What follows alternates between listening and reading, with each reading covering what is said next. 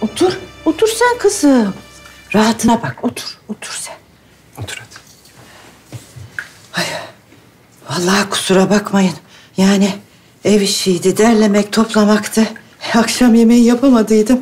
E kusuruma bakmayın artık. Aa, estağfurullah ne, ne kusuru biz size rahatsızlık verdik zahmet ettiniz. Ellerine sağlık annem. Afiyet olsun.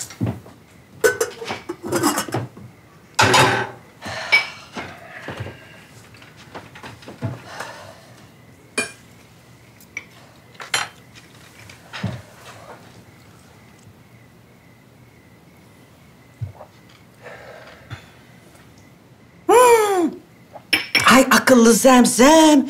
Eh, tereyağında bir iki yumurta kırmadım. Dur dur dur. Annem. Otur. Otur biraz. Bak böyle kaçarak olmaz. Bizim sana söyleyeceklerimiz var. Muratcığım Gülizar.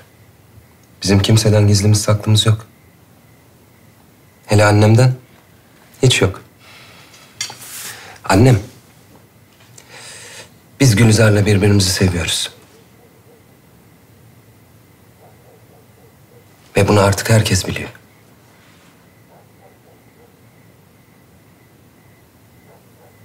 Ben anlamıştım zaten.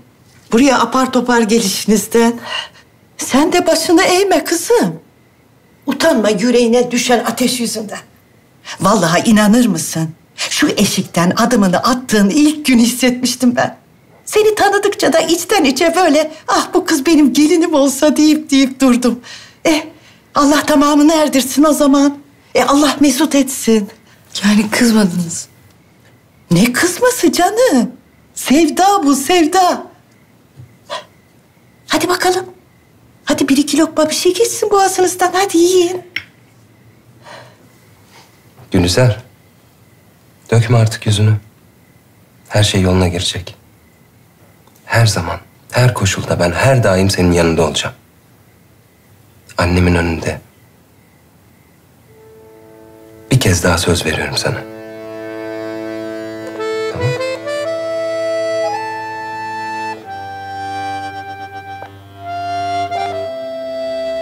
Kızım, senin halin yok sanki.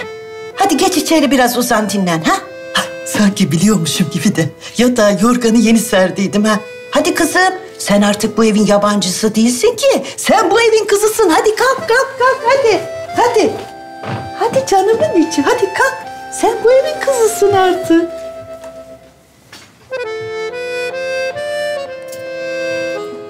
Geç, geç, geç canımın içi. E sen biliyorsun değil mi?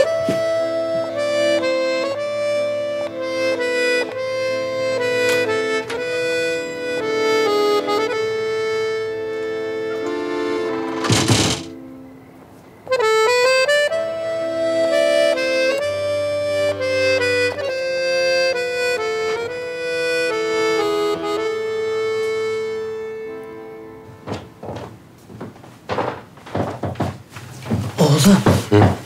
Kız korkmuş korkacağı kadar zaten diye ses etmedim ama.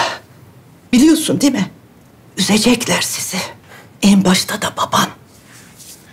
Annem, sen hiç merak etme. Ben ne yaptığımın gayet farkındayım.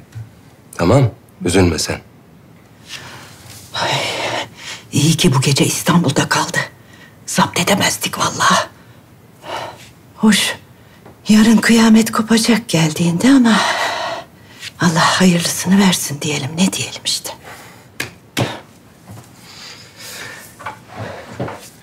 Yürümüş bağ